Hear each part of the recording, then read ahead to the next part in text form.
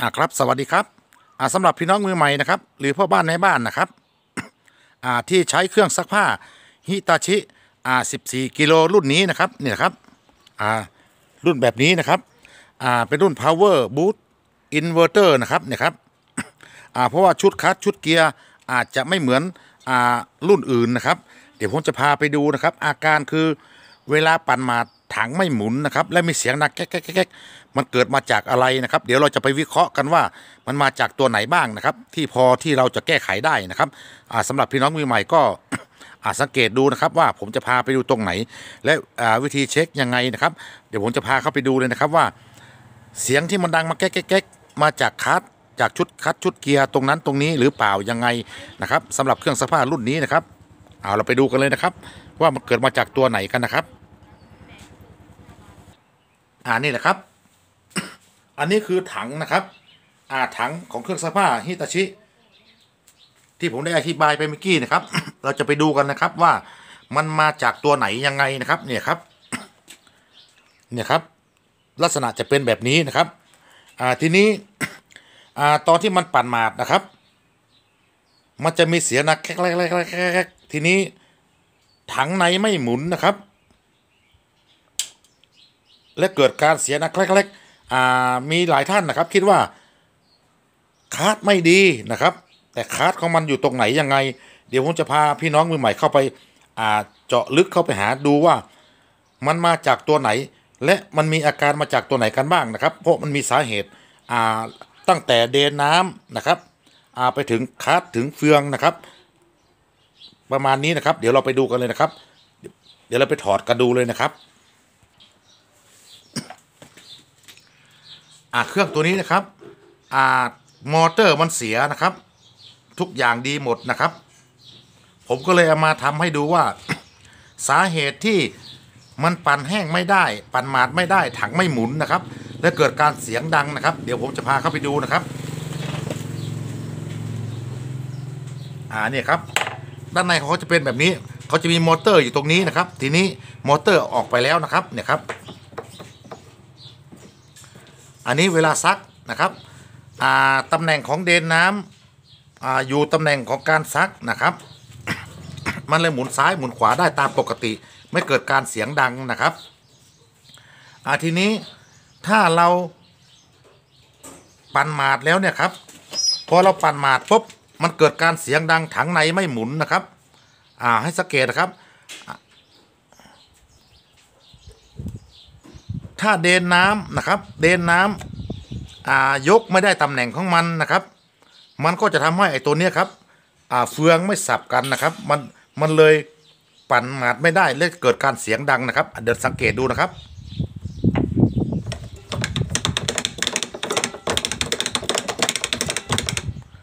เห็นไหมครับ อันนี้มันก็จะไปแต่ใบซักถังในไม่หมุนนะครับ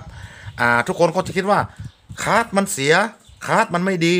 อ่าคลัตช์ไม่ดีก็มีส่วนนะครับอ่าทีนี้ถ้าเกิดว่าเดนน้ำนะครับ อันนี้คือประเด็นแรก ถ้าเดนน้ำดึงได้ดึงได้สุดนะครับ ดึงได้ตำแหน่งของมันปุ๊บมันจะเข้าล็อกเลยครับเนี่ยครับหนืดเลยอ่าอ่าทีนี้ ถังในของมันจะหมุนเลยนะครับเนี่ยครับหนืดแล้วหนืดแล้ว อันนี้เดนน้ำดึงได้ขนาดของมันนะครับอ่าทีนี้เกิดเดนน้ำดึงไม่ได้ขนาดของมันนะครับ มันก็จะเกิดปัญหานี้ได้เหมือนกัน เพราะฉะนั้นเราไปเช็คดูอ่าตรงนี้ก่อนนี่นะครับ อันนี้ซักระบบซักนะครับ ทีนี้ถ้าพอจะปั่นหมาดเดนน้ำจะหมุนเพื่อที่จะดึงคัสตัวนี้ลงลงไปนะครับไอ้คัสด้านในก็จะขึ้นมาเพื่อที่จะสับเฟืองตัวนี้นะครับอ่าถ้ามันขึ้นมาไม่ได้สนิทของมันนะครับ มันก็จะดังแบบนี้ มันก็จะหมุนแต่ใบซักถังในไม่หมุนเราก็คิดว่า คาร์ดไม่ดีนะครับ เดี๋ยวเราไปดูข้างในนี่เลยนะครับ ว่ามันเป็นแบบไหนยังไงนะครับ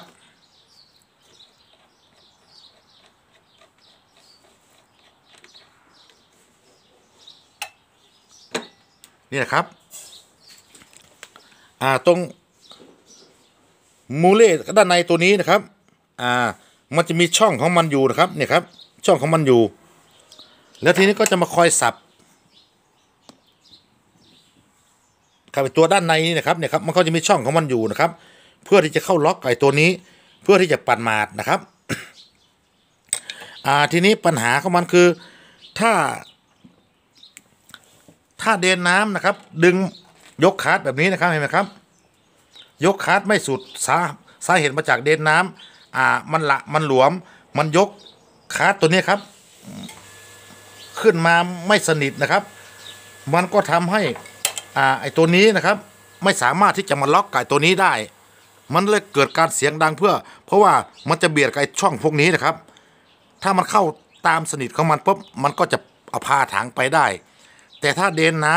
ำดึงไม่ได้ขนาด ไอ้ตัวนี้นะครับ อ่าเฟือง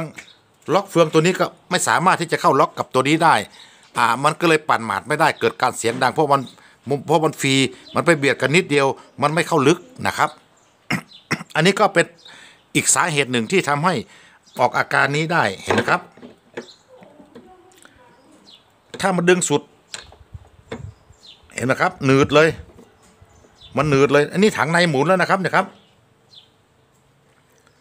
อ่าทีนี้ถ้ามันดึงไม่สุดนะครับ ดึงไม่สุดนะครับ อ่าดึงไม่สุด มันก็จะออกอาการแบบนี้ มัน ล็อกไม่เข้าเฟืองนะครับเนี่ยครับอ่าตกลงเดนน้ำก็มีส่วนที่ทำให้ปั่นแห้งเกิดการเสียงดังเนื่องจากเฟืองไม่เข้ากันนะครับอ่าต่อมานะครับอ่าต่อมาไอเฟืองพวกนี้นะครับเนี่ยครับตรงจุดพวกนี้ครับ ไก่ตัวนี้นะครับ ไม่ว่าจะเป็นตัวใดตัวหนึ่งอ่ามันแตกมันหักนะครับ มันก็ ล็อกกันไม่ได้ มันก็ปั่นหมาดไม่ได้เหมือนกันนะครับ เนี่ยครับสำหรับเครื่องซักผ้าฮิตาชิรุ่นนี้นะครับ อันนี้ก็เป็นอีกสาเหตุหนึ่งนะครับ ที่ผมเอามาอธิบายเพราะว่าผมเจอมาบ่อย และทีนี้ปัญหาที่มัน เกิดมาจากเฟืองตัวนี้นะครับ ด้านในนี่นะครับหนึ่งเดนน้ำทิ้งดึงได้ปกตินะครับ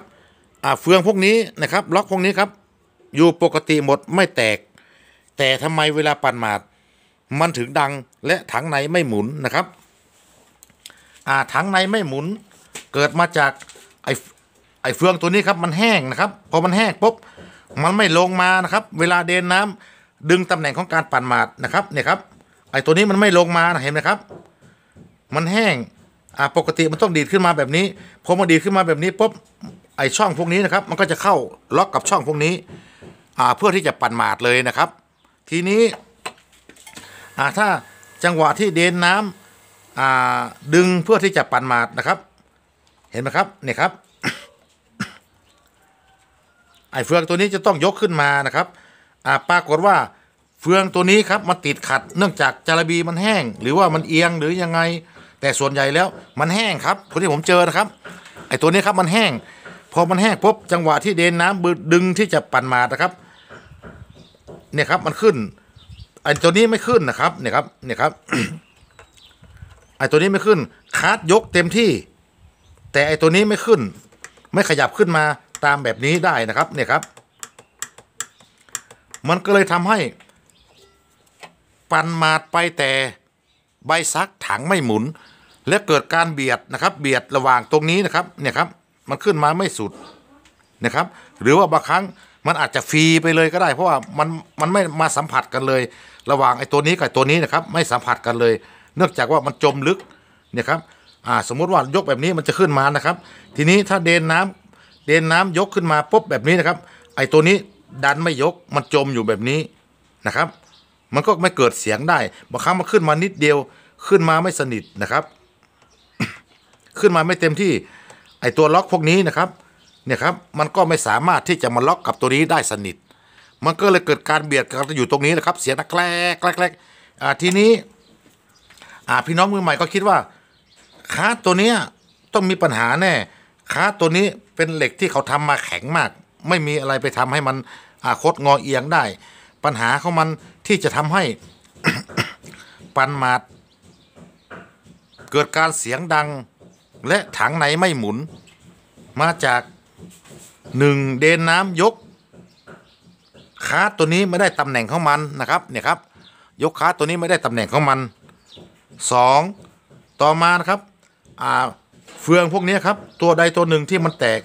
แต่โอกาสเฟืองพวกนี้ที่จะแตก ผมไม่ค่อยเจอนะครับ อันที่เจอบ่อยๆที่สุดคือ ไอ้ตัวนี้แหละครับไม่ยกนะครับเนี่ยครับเนี่ยครับมันไม่ยกมาแบบนี้นะครับเห็นครับเนี่ยครับ เดนน้ำดึง แต่ไอ้ตัวนี้จมอยู่เหมือนเดิม หรือออกมานิดเดียวนะครับ มันติดขัด เพราะฉะนั้นถ้าเป็นแบบนี้เราจะต้องมาแกะดูนะครับ ถอดออกมาดู ถอดออกมาดูเสร็จแล้วปุ๊บเนี่ย มาดูอันดับแรกให้มาดูตัวนี้ก่อนนะครับ ให้ถอดออกมาเหมือนผมนะครับ ถ้าเรามากดตัวนี้นะครับ กดตัวนี้ ถ้าไอ้ตัวเนี้ยไม่ดันขึ้นมาแสดงว่าเป็นที่ตัวนี้นะครับ แต่ส่วนใหญ่มาจากตัวนี้นะครับ มันไม่ขึ้นมา เพราะรุ่นนี้ครับ มันมานานมาก อาจจะระบีมันอาจจะแห้ง หรือมันอาจจะติดขัดตรงเฟืองตัวนี้นะครับ ที่มันไม่ขึ้นนี่นะครับเนี่ยครับอ่าอันนี้คือปกตินะครับเนี่ยครับไอตัวนี้ก็เหมือนกันนะครับเนี่ยครับ มันไม่ขึ้นไม่ลงนะครับ นี่ผมเอาน้ำมันฉีด และเอาจาระบีเข้าใส่นะครับ มันเลยลงได้ตามปกติเห็นไหมครับนี่อ่าก่อนหน้านี้ผมมาลองดู ยกคลัตช์ดูปุ๊บไอ้ตัวนี้จม ยกได้แต่คลัตช์เนี่ยครับ ไอ้สปริงตัวที่จะมาล็อกกันเนี่ยมันไม่สามารถที่จะดันขึ้นมา ดันตัวนี้ขึ้นมาอ่าดันตัวนี้ขึ้นมา เพื่อที่จะล็อกไอ้ตัวเฟืองตัวนี้นะครับ เพื่อที่จะปั่นมามันเลยปั่นไปไม่ได้นะครับ และบางครั้งมันขึ้นมาได้เหมือนกัน แต่มันขึ้นมาไม่สุดเห็นไหมครับ ขึ้นมาไม่สุดก็มียังมีอยู่สองอย่างคือหนึ่งเดนน้ำดึงได้จังหวะไม่สุด มันเลยลงมาแค่นี้